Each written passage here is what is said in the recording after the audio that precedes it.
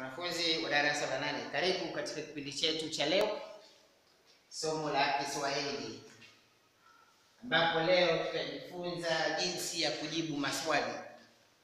Ningependa tu kuchukua mfano mchache wa karatasi ambayo niliwapatia ili tuweze kuona ni wapi pengine tulikuwa tumepo, tumepotoka ama tulikosea ili tuweze kurekebisha. Kwa hiyo karatasi hii ya Kiswahili ambayo niko nayo hapa, nakala hii ya Kiswahili, kawaida ya Kiswahili kina sehemu tatu. Kiswahili karatasi kama hii ina sehemu tatu, ambayo tunaambiwa sehemu ya kwanza eh, ni sehemu ya viasho, nambari ya kwanza hadi kumi na tano. Viasho, ama ukitaka kuliita ni fungu tenzi fungu-tenzi nambari ya kwanza hadi kumi na tano. Kisha kuna nambari ya kumi na sita hadi thelathini ambayo hapa unajaribiwa sarufi, msamiati, inaweza kuwa ni vitawe, visawe na vitate na kadhalika, mafumbo, eme, vitendawili. Hapa ndio tutapata matumizi ya na, matumizi ya ki, matumizi ya kwa matumizi ya kiambishi o rejeshi na o tamati utavipata vyote hapa hivi katika sarufi. Pia kuandika kutoka ka, katika usemi halisi hadi usemi e, wa taarifa utaupata katika sehemu hii ya pili. Kisha kuna sehemu ya tatu ambayo ni kutoka nambari ya thelathini na moja hadi ya hamsini ambapo hapa kuna utapewa ufahamu mbili, wa kwanza ukiwa nambari ya thelathini na moja hadi ya arobaini na wa pili arobaini na moja hadi hamsini. Hizi ni fahamu mbili ambazo mwanafunzi utazisoma, kisha utakutana na maswali uyajibu kulingana na ufahamu ambazo umepewa. Kwa hivyo cha msingi, kabla ya kuanza eh, kufanya karatasi yote ya Kiswahili, unatakikana uwe umesoma maagizo, umeelewa maagizo uliopewa. Kwa ile Waswahili wanasema mwenye pupa adiriki kula nini tamu. Usiwe kama yule mwenye pupa. Kwa sababu gani? Waweza kutumia kukimbia, e, kutumia haraka haraka, mwisho ukajikuta kwamba umejibu sivyo, umejibu kinyume cha swali ambalo umeulizwa. Na kawaida unaposoma swali, baada ya kusoma maagizo, pitia soma lile swali kutoka mwanzo mpaka mwisho. Sababu gani ninasema hivi? Tumezoea sana kusoma sole kwa haraka, na katika kule kusoma kwetu kwa haraka utakuta kwamba huenda ukapotoka. Umesoma vitu vingi sana. Binadamu anaweza kupotoka wakati wowote, na kumaanisha kupotoka hapa ni pengine unakuta umeruka ama umesoma kitu ambacho hakipo, hakijaandikwa pale utakuwa unajibu swali ambalo hujaulizwa. Kwa hiyo baada ya kusoma maagizo umeelewa, yafaa sasa uanze kuyajibu maswali yako. Kabla hujajibu yale maswali, kila wakati naomba utufikirie, mwalimu alitufunza nini? Mfano, nambari ya kwanza tunaulizwa watoto ni kutoka kwa Jalali. Tunapoongea kuhusu Jalali,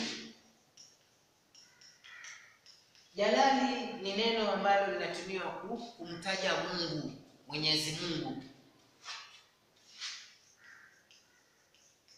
Visawe vyake waweza kuvitaja, kuna Mola, vile imetaja Mungu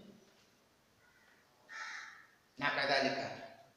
Kwa hivyo Jalali, unaposema watoto, watoto ni nini?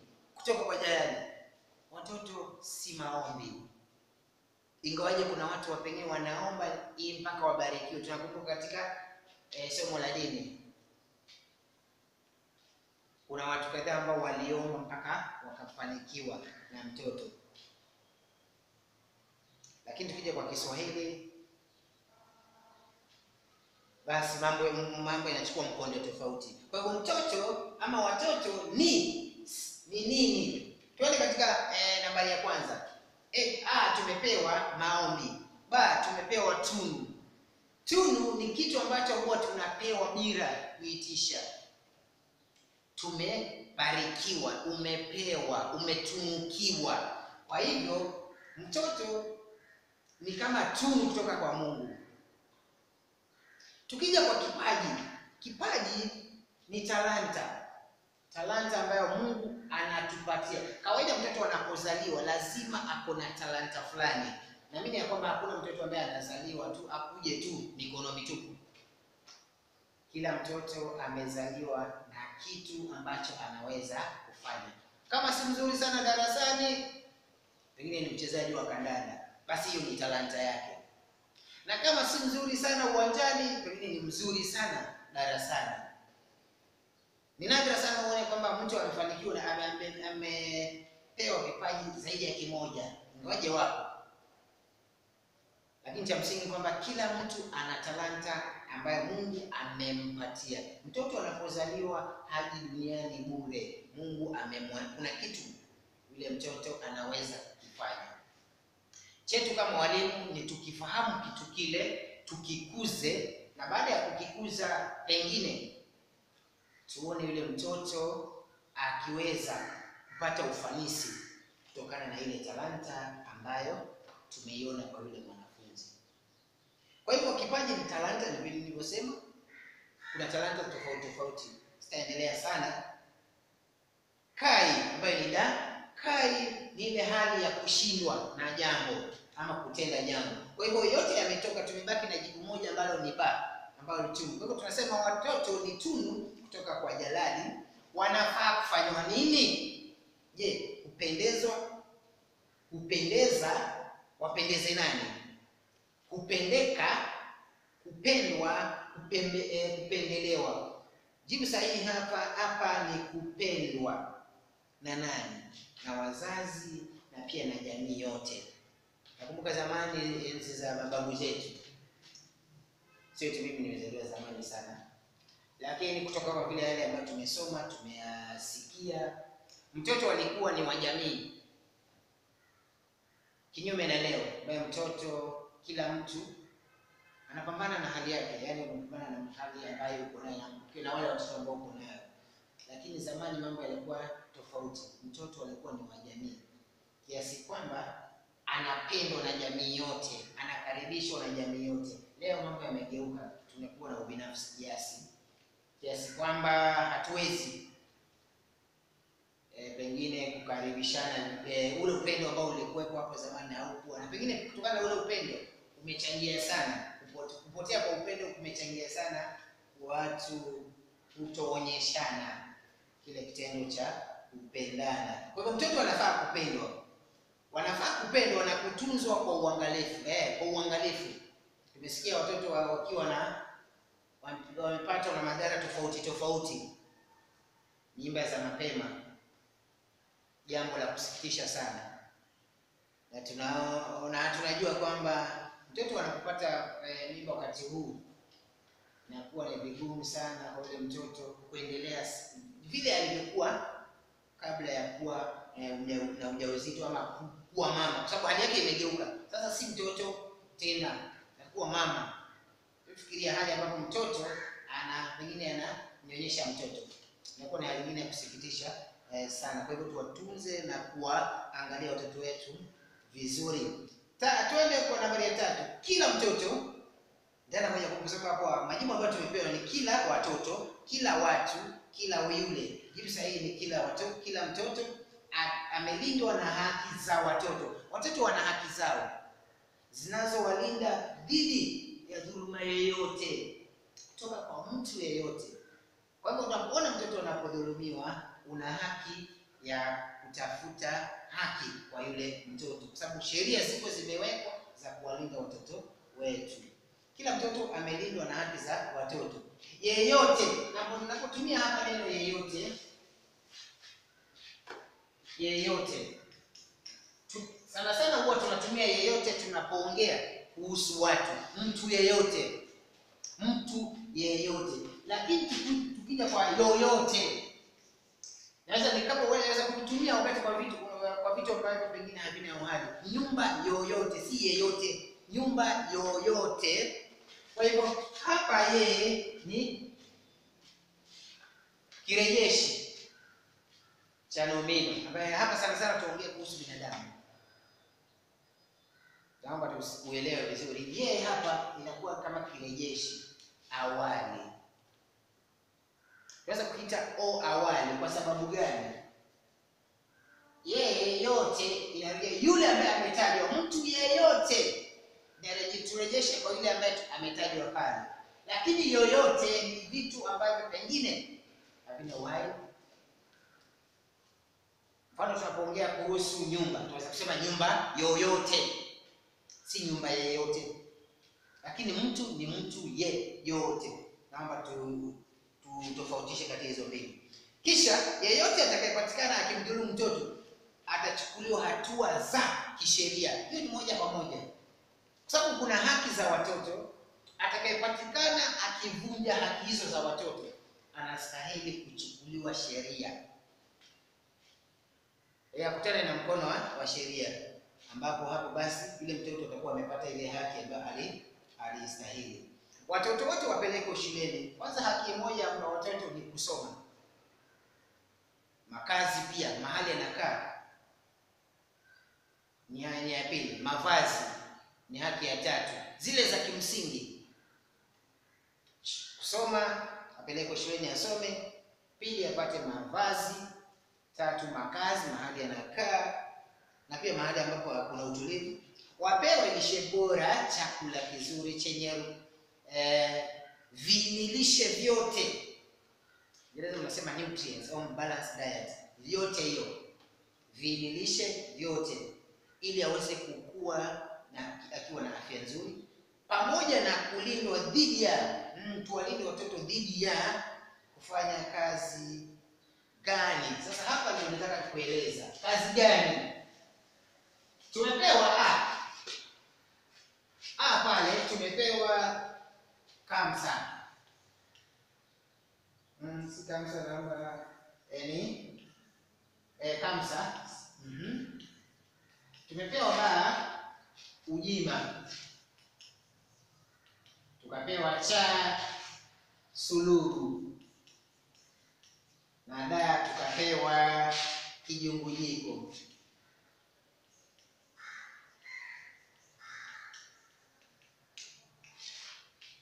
Kamsa ni kama mayoo. Nasikia watu wanapiga mayoyo upande ule mwingine, tunasema ni kamsa, kuamsha mtu, pengine kujatokea jambo, pengine mahali wezi wamevamia, watu wanapiga kamsa wakiomba usaidizi. Hiyo ndio maana ya kamsa.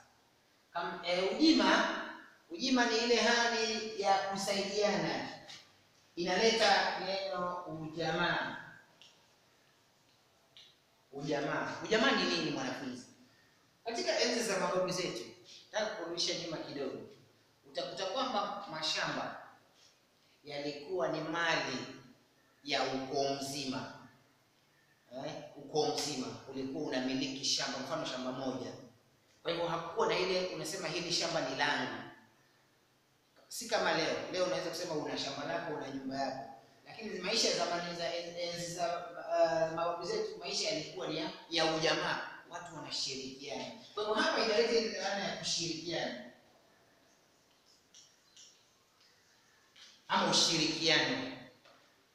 Eh, hapa napoongea kuhusu ushirikiano utakuta kwamba watu zamani walikuwa katika hizo uh, enzi uh, za, za ujamaa ambapo mashamba yalikuwa ni ya ukoo, basi watu walikuwa wanakuja pamoja, wanalimiana mashamba yale. Leo mnaenda kwa ukoo fulani, mnalima mnamaliza, kesho mnakuja kwa ukoo fulani, mnalima mnamaliza. Kwa hivyo ile hali ya kushirikiana itaeleza ujima ambao watu wanakuja pamoja. Kwa hivyo ujima ni ile hali ya kushirikiana, hali ya kuja pamoja kwa wanajamii ama jamii, Kiswahili sanifu, kwa jamii nzima, jamii jamii yote inakuja pamoja, wanakuja wanafanya kazi kwa pamoja, na mwishowe kesho wanaenda kwa mtu mwingine. Hivyo basi utakuwa na onyesha ushirikiano. Tuende kwa suluhu. Hapa naomba kuongeza neno kazi ya suluhu. Kazi ya sulubu ni kazi ambayo ni ngumu, kazi ngumu ambayo inahitaji nguvu nyingi, inahitaji nguvu nyingi, nguvu nyingi. Kazi ngumu ambayo inahitaji nguvu nyingi ni kazi ya sulubu. Kijungujiko ni kazi aina gani? Kijungujiko, kazi ya kijungujiko ni kazi ambayo tunaweza tukasema pato lake ni kalili. Pato lake ni kalili. Maana ya kalili ni nini, mwanafunzi? Yaani hili pato haliwezi kukidhi mahitaji ya kimsingi kwa ile binadamu. Kuna yale mahitaji ya kimsingi: kuvaa, kula, pengine kulipa nyumba hmm, kulipa karo ya shule. Hayo mahitaji ya kimsingi ya binadamu, ya usafiri, pengine unaenda kazini, itabidi lazima ulipe. Kwa hivyo kama una kazi hii ya kama unafanya kazi ya kijungujiko, pato lako ni dogo, pato lako ni dogo. Pato kwa njia tu ile ya e, ya kawaida sana, Kiswahili kile cha cha kimsingi, pato lake ni dogo na haliwezi kukidhi mahitaji ya mtu. Kwa hivyo utakuta kwamba licha kwamba anafanya hii kazi kwa bidii sana, anarauka asubuhi, anarudi usiku pengine wa manane, lakini pato lake bado ni ni dogo na haliwezi kukidhi yale mahitaji yote ambayo ako nayo. Nataka kuongeza, kabla sijatoa jibu sahihi hapa, nataka kuongeza neno moja ambayo linahusiana na haya maneno mawili hapa. Neno moja mwanafunzi, ambayo linahusiana na kazi ya sulubu, kazi ya kijungujiko na kazi ya shokoa. Shokoa ni nini mwanafunzi? Ah, shokoa ni kazi ambayo mtu analazimishwa kufanya, kazi ya kulazimishwa. Yaani uipende, lakini kwa sababu inabidi, wanasema Waswahili, jambo linalobidi kutendwa inabidi ulitende tu, hakuna lingine. Shokoa ni kazi ya kulazimishwa, huna budi kulitenda, yaani huna njia nyingine hakuna njia nyingine ila hapa lazima utende, umelazimishwa. Pengine umesh sana sana hapa, pengine pengine wale ambao kwa bahati mbaya umejikuta pengine gerezani, kulazimishwa kufanya kazi ambazo huzikutarajia, fagia pengine mji. Eh, fagia mji, ngoje si kazi eh, nzuri vile, kwa sababu hapa kuna eh, afisa wa usalama anakushikilia, akona akona bunduki, kwa hivyo inabidi tu uifanye kiujanja ujanja, wanasema wenyewe kiujanja ujanja, hivyo hivyo tu, bila kupenda. Ni kazi ya kulazimishwa, yaani kuna masharti. Zamani sana za baba, kabla ya uh, wakati wa ukoloni, waliotutangulia waliokuwa wakipigania uhuru wa nchi yetu ama ili Kenya ijitawale, walikuwa wanafanyishwa kazi na mkoloni. Ile kazi ambayo walikuwa wanafanyishwa sana ni kazi ya shokoa, kwa sababu hapa mkoloni ameshikilia bunduki, anakulazimisha umfekee pengine ama umlimie. Walikuwa na ile mashamba makubwa, kwa hiyo Waafrika walikuwa wanapelekwa pale. Kwa hivyo hiyo ni njia moja ya kuonyesha kazi ya shokoa, jinsi Waafrika walivyokuwa wakitumishwa ama wakifanyishwa kazi za ama kazi ya lazima na mkoloni ama mbebere kipenda kwa hivyo tuendelee na pale. Kwa hivyo jibu sahihi hapa litakuwa ni kazi ya sulubu. Watoto hawafai kufanyishwa kazi ya kazi ya sulubu. Kutoka hapo nataka tuende na pale. Siasa ni nini? Kuna mawazo. Siasa ni mawazo? Mawazo inayofuata. Nataka uangalie neno linalofuata. Siasa ni mawazo inayofuata, si sahihi. Siasa ni itikadi inayofuata vizuri. Kwa hivyo jibu la liwe ba, itikadi na inayofuatwa na hadhira. Hadhira ni watu ambao pengine mkutano umeitwa, nafikiri niliwahi kuwaeleza hadhira ina maana gani. Mfano, kuna mkutano wa siasa ama wa kisiasa, na waliohudhuria ambao wana ni mashabiki, tunaweza kuwaita mashabiki. Sugu wa chama fulani, utakuta kwamba basi wote ambao wameadhiri wamekuja pale tutawaita hadhira, kwa sababu wanakuja kuwasikiza viongozi wao. Sasa viongozi wao ndio watakuwa wanatoa ile hadhara Mhm, hadhara. Kisha wao hadhira ni wao ambao wanawasikiza, hao ambao wanasikiza ni hadhira. Kwa hivyo siasa ni itikadi inayofuatwa na hadhira fulani ambayo ni msingi. Msingi wa nini? Msingi wa kuendesha uchumi. kumi na mbili, nchi ambayo ni a yenye siasa nzuri hukua. Hukua gani? Kwa sababu hapa kuna mbili, hapa ndio huenda tuka tukajikuta tukiandika jibu ambalo hukua ama hukua gani? Tunapoongea kuhusu kuwa huku ni kuongezeka sana sana kwa kimo ama kwa kitu fulani. huwa ni kutendeka, huwa inafanyika namna hii, kutendeka kwa jambo. Kwa hivyo jibu sahihi hapo mwanafunzi ni gani? Tunaambiwa e, nchi yenye siasa nzuri a hakuwa huwa ba cha haikui na mwisho hukua sana kiuchumi. Jibu la pale weda hukua, yani inakuwa, ni mazoea, hukua sana kiuchumi, kwa sababu wananchi huishi kwa amani, wananchi huishi kwa amani.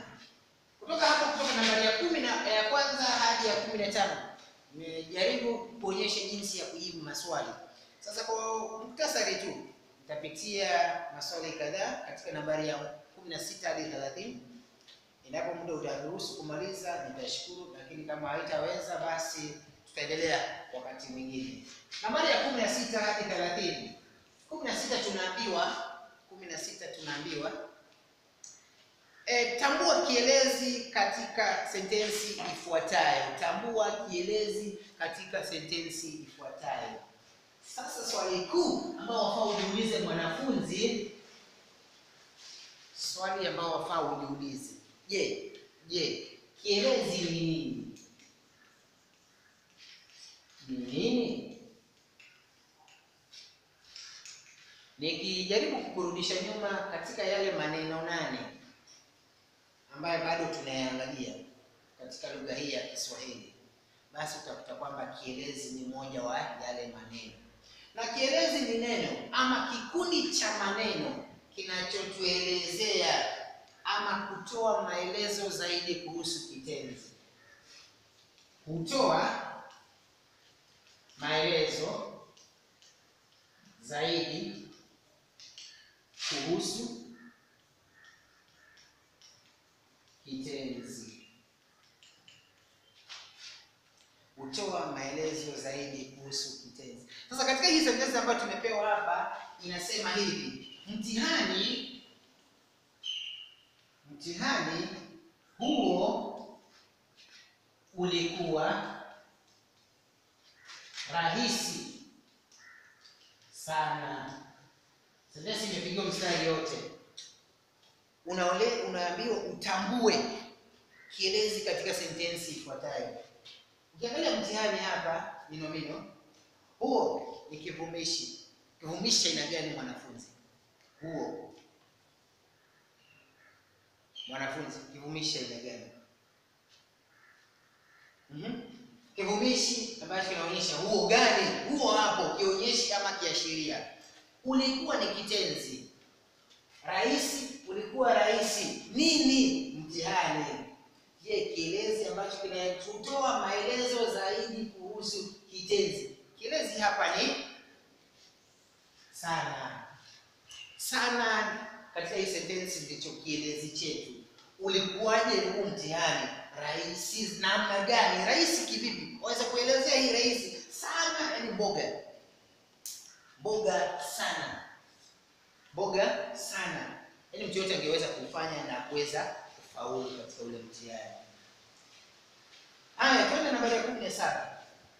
Kifaa cha madini au bati kinachotumiwa kuoka mikate ya kumimina.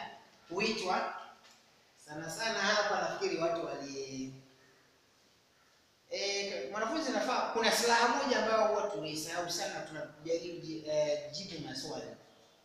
Katika somo la kiswahili kuna kamusi. Kamusi ni silaha dhabiti kama utakijua kiswahili. Uwe na kamusi yako. Katika kamusi yako utaelezwa kwamba kama uko nayo hapa waweza kuitoa lakini kama hauna waweza kunisikiza kisha uangalie eh, baadaye. Jibu letu sahihi hapa ni joko joko ndio huo linatumi, inatumiwa kuoka mikate. Mikate tunaioka sana sana ya kumimina kwa hivyo jibu ni joko na wala si jokofu. Kuna tofauti ya joko na jokofu. Twende kwa buli. Buli ni kama birika birika mfano ya kuweka chai. E, chai birika ya kawaida tu. Birika. Ndio buni. kisha legeni ni sinia. Mfano wa sinia hivi. Ya kuoka mikate. Legeni ni sinia. Kisha kandrinya kandrinya ambayo inapatikana katika ngeli ya lia. Hii pia tunaweza kuita birika ambayo huchemsha sana sana maji. Kwa wale walioenda shule sana wanasema pengine ni ile ya kuchemsha maji. Kwa kiingereza mnaita nini wanafunzi? Eh, kwa Kiswahili kwa Kiswahili ni kandinya, lakini inaweza kuwa hita kama sitakuwa nimekosea sana lugha ile ya mayai. Eh, kwa sababu ng'enge pia hapa nafikiri si si vizuri sana sana sana kuutumia.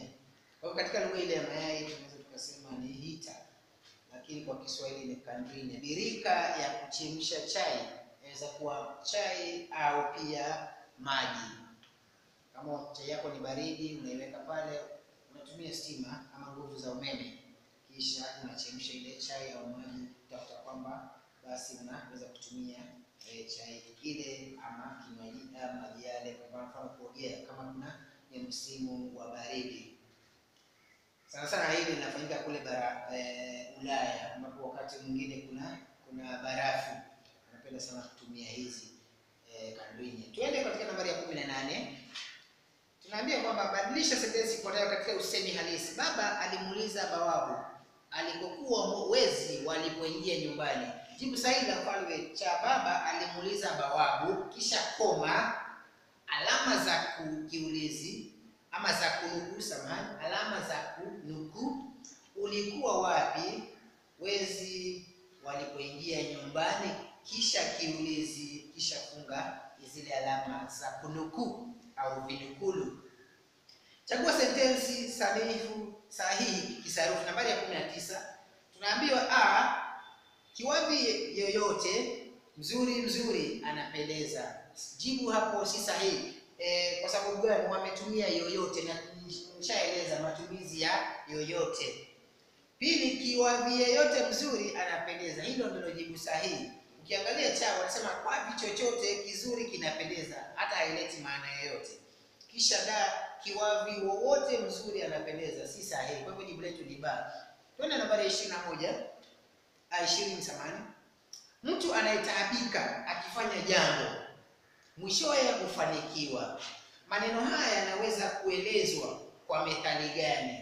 Mm -hmm. ni methali gani? Tumejifunza methali tofauti tofauti. Je ni methali gani ambayo inaeleza mambo eh, maelezo ambayo umepewa? Achanikae kwa mpini hafi njaa. E, anaelima sana anayefanya bidii sana hawezi hawezi kulala njaa. Kwa hivyo mtu anayetaabika akifanya jambo fulani mwisho Eh, wanasema waswahili atangaye na jua hujua. Yaani inamaanisha kwamba mchana wote unajishughulisha ulazi damu basi mwishowe huenda ukafanikiwa. Na ukifanikiwa basi utakuwa umefanya nini? Ume e, akisha wewe utakuwa ndiye mtu ambaye alikuwa akitaabika na sasa kwa sababu ya lile jambo ambalo ulikuwa ukilitaabikia umeweza kufaulu na matunda yake ndio unafanya nini utakuwa unayafurahia wanasema waswahili vile vile kwamba una, una una, una, yaani una- unajitumika katika jua, unatumika sana sana katika jua, kama vile methali ambayo anasema uchumia juani kulia wapi? Kivulini. Wakati wa jua sana sana ndio watu wafanya kazi, jasho linatiririka, ile nguvu yote ambayo umepoteza, endapo utafanikiwa katika lile jambo, basi yale matunda hutaenda kuyalia mahali kuna kuna kuna jua tena. Mwanafunzi utafuta mahali ambapo kuna kaupepo chini ya kivuli uweze kufurahia yale matunda.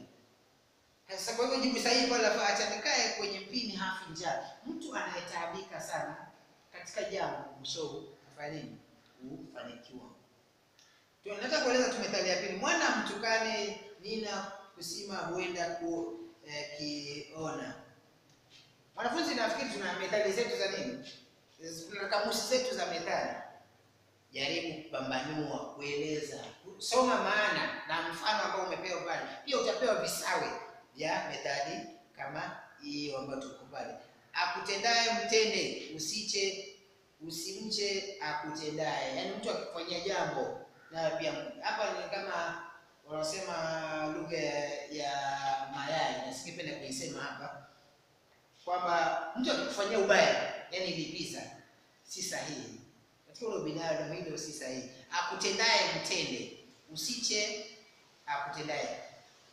Hiyo ni moja wapo ile maana yaani mtu akutendea ubaya nao mtendee vile vile alivyokutendea, lakini unajua Biblia inasema vile tusilipize ubaya, ubaya kwa ubaya. Vile vile mtu akikutendea wema usimlipe kwa ubaya.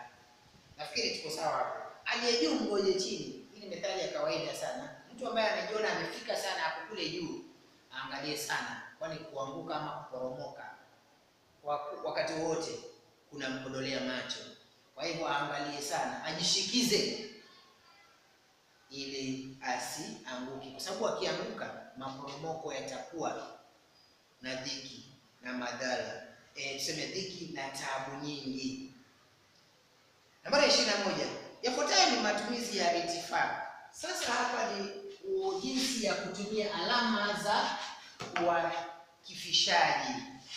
Uakifishaji, uakifishaji ni nini? Ni ile hali ya kuweka kutumia alama za kuakifisha vyema katika sentensi, na hapa tumepewa itifaa.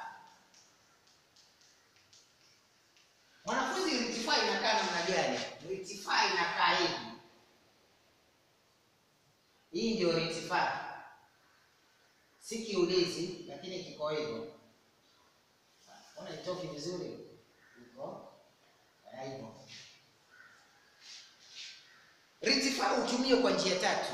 Nataka kueleza njia ya kwanza, kuonyesha sauti ya king'ong'o. Sasa hapa najua itakuwa na mdahali. King'ong'o ni nini? King'ong'o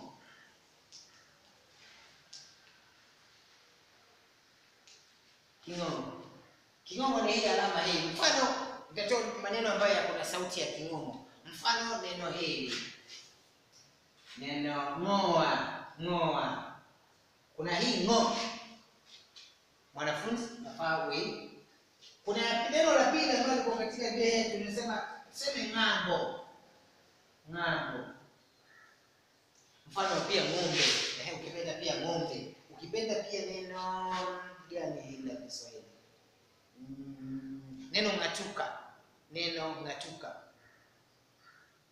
Eh, neno ng'atuka, mfano rais kung'atuka katika mamlaka. Kwa hivyo mm, mm, eh, linatumia sauti ya ya king'ong'o, yaani zote ambazo zinaanza na ng'o ng'o ng'o, hizo ndio sauti tunaita king'ong'o, zinatumia retifaa. Hiyo ni maana ya matumizi moja ya eh, ya retifaa. Ya pili ya retifaa hutumiwa kuonyesha nambari iliyodondoshwa, nambari iliyodondoshwa. Mfano, tunaweza tukisema mwaka huu ni mwaka wa elfu mbili na ishirini. Tukidondosha herufi hii ishirini tunaweka pale ile alama. Kisha tunaweka ishirini pale. Unaona mwanafunzi? Kwa hivyo tumedondosha hii mbili. Mbili na sufuri. Tukabaki tukaweka alama yetu pale. Kwa hivyo hii mwaka mwaka wa elfu mbili na ishirini. Badala ya kuandika elfu mbili na ishirini mwanafunzi. Aya ya tatu kuonyesha herufi pia ambayo imedondoshwa, herufi ambayo imedondoshwa. Nataka uangalie hili neno, nataka uangalie hili neno. Badala ya kuliandika hapo, inamaanisha kwamba badala ya kuandika neno lote mm, kwa urefu, baada ya kuliandika kwa urefu unalifupisha. E, nitatoa mfano kama neno mm, angalia hili neno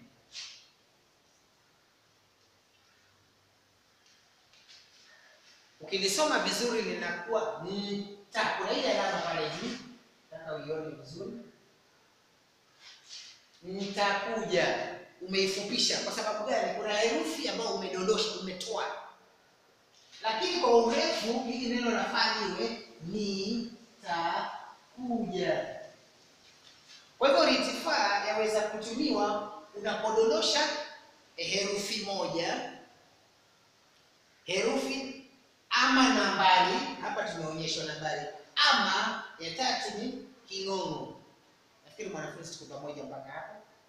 Kwa hivyo jibu letu sahihi la faliwe yaliyofuatayo ni matumizi ya ritifaa ila. Sasa hapa ndio swali liko yaani lipi ambalo si matumizi ya ritifaa? Jibu la faliwe a, kuonyesha kitu ni cha mtu fulani, kuonyesha kitu ni cha mtu fulani. Kutoka hapo mwanafunzi, nataka niende nambari ya ishirini na tatu. Kinyume cha sentensi, jua linapochomoza mvulana alianika nguo. Kinyume cha sentensi, kinyume yafaa iwe jua lilipochomoza mvulana alianika lianika nguo. Ni nini kinyume chake? Kinyume cha sentensi hii hii tunaangalia vinyume. Jua jua, halina kinyume mwanafunzi, hivyo linabakia hivyo hivyo. Kuchomoza kinyume chake ni kuzama. Kuzama, jua limezama, limetoka katika upeo wa macho. Kisha mvulana ni msichana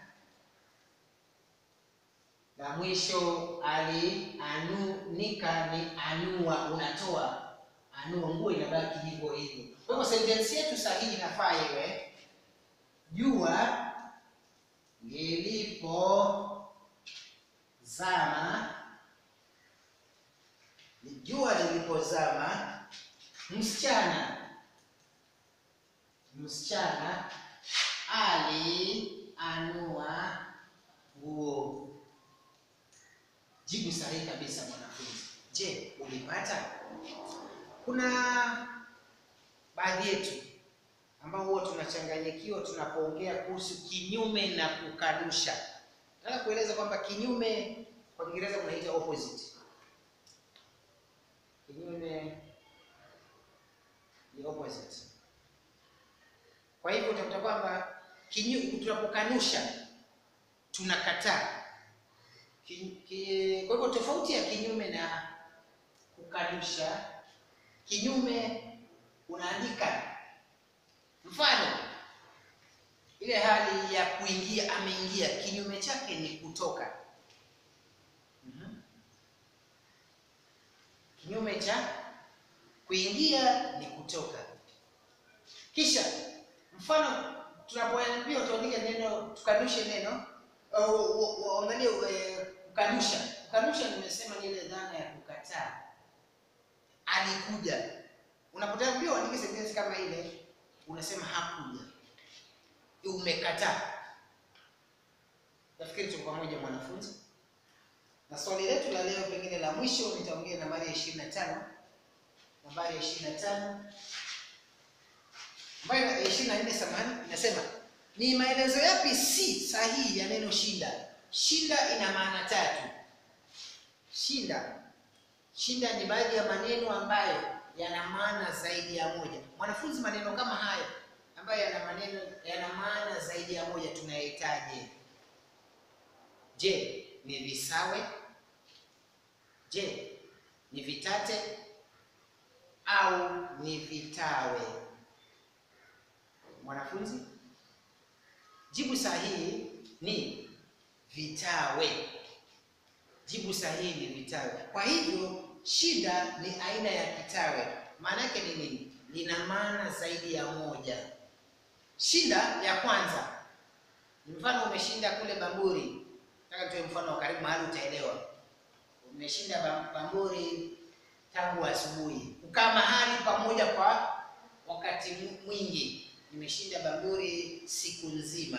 Hiyo ni mara ya kwanza. Shinda ya pili ni kwamba mmeshinda kombe. Mfano, klabu cha Liverpool kimeshinda ligi kuu ya Uingereza. Aha. Kwa hivyo wao wameshinda. Kwa hivyo maana ya pili ya kushinda, nyakua tuzo fulani. Na maana ya tatu ya shinda ni kitu ambacho hakijajaa. Mfano, tungekuwa na glasi ya maji hapa, lakini haijajaa, iko nusu ama robo tatu, tutasema ile glasi iko shinda, haijajaa. Kwa hivyo jibu sahihi pale hapa ni kukosa mahitaji muhimu, kukosa mahitaji muhimu. Na mwisho, sababu ya muda, kama nitafaulu, nipenda kuongea sababu hizo zingine naona ziko moja kwa moja. Chagua neno linaloonyesha mtu analazimisha mwingine kufanya jambo. Hapa ni mnyambuliko wa vitenzi. Baada ya kuangalia yale maneno nane ya Kiswahili, tutarudia kwa ngeli. Baada ya ngeli, nitajaribu kueleza mnyambuliko wa vitenzi, jinsi tunavyonyambua kitenzi katika hali tofauti. Nafikiri tulifanya hii darasa la saba, kwa hivyo itakuwa tu ni marudio. Unaweza kuangalia mahali tuliandika baadhi ya e, tuliandika mwanya- mnyambuliko wa vitenzi na tukaweza kunyambua vitenzi tofauti tofauti tukiwa darasa la saba. Hata darasa la sita nafikiri liko. Kwa hivyo kazi hii inaanzia darasa la sita. Kwa hivyo jibu sahihi hapa ni andikisha, unatendesha. Andikisha, unamtendesha ile jambo, analifanya. Kwa hivyo ni kulazimisha. Kanusha, kusema, kusema sema na kulala kwako utakufanya ufeli. Kutosema, jibu sahihi tunapokanusha vitenzi jina. Mwanafunzi tulisema nomino vitenzi jina. Nomino vitenzi jina tunazikanusha. Nomino vitenzi jina ni nomino zozote ambazo ziko na mzizi kuu kucheza. Aha. Tukasema tunapozikanusha tunaongeza so. kwa hivyo inakuwa namna hii, hatuweki hapa mwisho, inakuwa kuu, tunaongeza hapa cho, kisha cheza. Kwa hivyo tunapata kutocheza, tumekanusha wanafunzi. Kwa hivyo kama ni kulala inakuwa kutolala, kama ni kusema sema inakuwa kutosema sema. Kwa hivyo jibu la swali wenda kutosema sema na kutolala lala kwako hakuta kufa, hakuta kufanya ufeli. Mchoro wa saa ukiangalia na hiyo saa tumepewa pale, kuna grabu, hiyo ni grabu ya saa, na kulingana na ile saa, nilisema saa tunazisoma kawaida jinsi tunavyosoma katika Kiingereza. Kwa hivyo saa e, kulingana na e, saa hii muda ambao tumeonyeshwa pale, ukiangalia kuna miti mitatu. Kuna mti ambao unaonyesha huo e, mweusi mdogo ni wa masaa, lakini kwa neno kwa Kiswahili hakuna neno masaa, ni saa. Kisha kuna ule mti mrefu ambao unaonyesha dakika na ule mdogo ambao ni mwembamba, eh, ni mwembamba kiasi unatuonyesha sekundi, sekondi ama sekunde. Kwa hivyo katika na hili e, swali mchoro huu unaonyesha ni saa ngapi? Ni saa saba kasoro dakika ishirini au saa sita na dakika arobaini mwanafunzi. Nduguye mdogo ni, ilhali nduguye mkubwa ni kaka au dada mkubwa. Ndugu yako mdogo ni mnuna. Tulifanya hii kazi darasa la saba. Ndugu yako mdogo ni mnuna. Nikaeleza pia kwamba hali hali ambayo iko katika jibu la cha pale tumepewa ni kisawe cha halati. Sasa nikaeleza kwamba halati ni dada yake mama yako. Mwanafunzi nataka uelewe, dada yake mama yako ni halati yako. Tumewazoea sana kuwaita anti kwa mabaya, naomba tuitumie hiyo. lakini kwa Kiswahili sanifu ni hale au halati, dada yake mama yako. Kisha nikasema dada yake baba yako utamwita shangazi au au nani, shangazi au mbiomba, ukipenda shangazi au mbiomba. Mwanafunzi usisahau haya mama kwa sababu utakutana nayo. Dada yake baba yako ni shangazi yako au mbiomba. Mkoi nikasema ni mtoto wa ami, mjomba, shangazi na kadhalika. Kisha umbu, darasa la saba tulisema ni jina wanaloitana ndugu wa kike na wa kiume, ni umbu. ishirini na tisa kiatu changu ni kipya, chako ni kikuu kuu. Kikukuu inamaanisha kimezeeka. Neno lilopigiwa mstari hapa, hakuna neno ambalo lilionyesha kupigiwa mstari. Kwa hivyo neno ambalo lingefaa kupigiwa mstari pale ni chako, na chako hapa kulingana na sentensi hii ni kiwakilishi. Babu zako kwa mkato ni naomba tufikie nambari ya thelathini kwa leo. Babu zako, babu zako. Kwa ufupi, tunaondoa tunaondoa hii katikati, samahani, zako tunaondoa hizi tunazitoa. Kwa hiyo tunabaki na babu, babuzo, babuzo. Kwa hivyo jibu letu pale ni cha. Mwanafunzi, kufikia hapo kwa leo, naomba nikomee hapo. Tumeona jinsi ya kujibu haya maswali.